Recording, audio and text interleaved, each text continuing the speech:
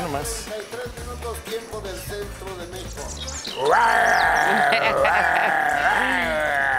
Así rugió mi querida tigresa Irma Serrano. Reaparece ante medios de comunicación para celebrar su cumpleaños en un lugar muy especial, su teatro. Un lugar que tiene 45 años con ella, que se lo habían quitado, que lo recuperaron, recuperó su sobrina. ¿Cómo se encuentra tras varios meses alejada de ya años ya del medio artístico? Y según ella, vive en México. Tigresa, nos vas a volver locos. Adelante. ¿No que en Chiapas? Luego de que hace unos meses Sale el Sol la captara en exclusiva, Irma Serrano, la tigresa, reapareció ante las cámaras gracias a su sobrino Luis Felipe García, quien le organizó una fiesta sorpresa de cumpleaños en el Teatro Fru Fru. Y ahí la chiapaneca contó sobre cómo ha vivido en los últimos años. Que he sido muy feliz en la vida, se lo debemos a Dios. Mm, Y que quiero seguir con ustedes muchos años todavía. Todos, todos los que quieran ponerme allá, ahorita que no les digo la groseriota que se me estaba ocurriendo, porque me he vuelto muy decente. Luego de que pudo recuperar el Teatro Fru Fru, Serrano reveló con qué obra le gustaría que las puertas del recinto se reabrieran. Con la que empecé. ¿Cuál será? ¿Cuál era, eh? Usted la reportera. Ah, ok.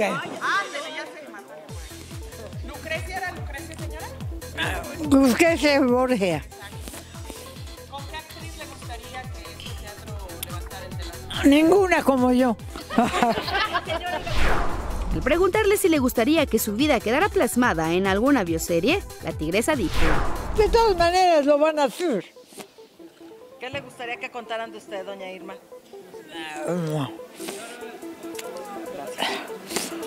Pues. Pues así como nos estamos viendo ahorita. Yo no quiero pensar en morir.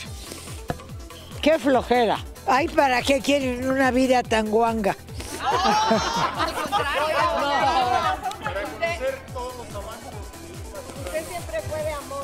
Fueron muy pocos.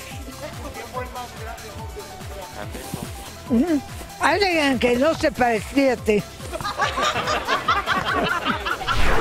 A la celebración acudieron familiares y amigos, quienes disfrutaron de mariachi, marimba y un gran banquete.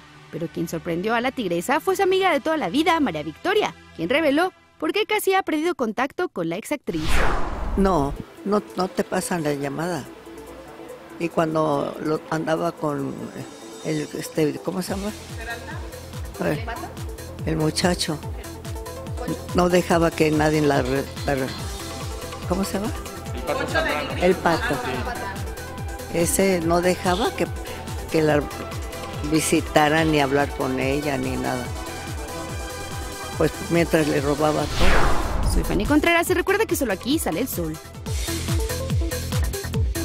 Qué imprudentes los medios. Ella comiendo su pastelito y le hacían preguntas y se ve que lo estaba disfrutando porque no dejaba el pastelito. Mira, eh, este, la llevaron a- al Teatro Frufru. Eh, aparte, Luis Felipe, su sobrino, se pasó toda la semana, 10, 12 horas ahí poniendo la luz, este, o sea, dejándolo bonito, de- dejándolo bonito el teatro y, y- y el teatro es una verdadera maravilla. Ah, ese trato es precioso. O sea, eh, es un teatro que tiene historia, que tiene sabor, que tiene tradición. Está en una calle primorosa que es Donceles, donde está el Teatro de la Ciudad también, donde está la Cámara, la ex Cámara de Diputados, este, divino. Entonces va llegando la señora, entonces le iban a recibir con una marimba y Julia Palma llevó un mariachi, entonces empezó a cantarle las mañanitas, pues les echó a perder la sorpresa. ¿Por qué? Pues porque eh, eh, no quería que ella se diera cuenta hasta que entrara y escuchara este, la, la marimba. Ay, Entonces, bueno, ya después empezó, llegó Alfredo Palazos, llegó María Victoria, llegó mi querida Tesorito. Mira, qué padre. Me da gusto porque se ve contenta la tigresa, doña Irma Serrano. Se ve que está gozando, ya no. O sea, luego, luego, acuérdate antes, cuando la traían atarantada para pues bajarle todo su dinero, sí su actitud era otra y ahora se ve relajada, tranquila, ¿no? Como que la disfrutó. Qué bueno, Divina, felicidades. que- querida tigresa Irma, te mandamos desde aquí un beso, un abrazo muy apretado. Hoy es cumpleaños número, ya al rato les digo cuál. Sale el sol, lunes a viernes 9 a.m. Participa en Imagen Televisión.